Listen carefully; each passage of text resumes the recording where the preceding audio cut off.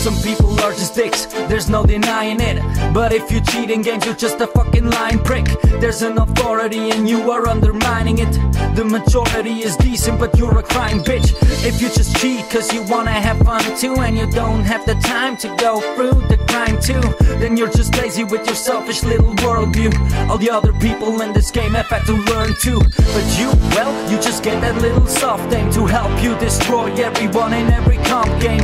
You go into leagues, you think you are so clever and then cheap for money. Now that's on a whole another level. Are just really sad. You can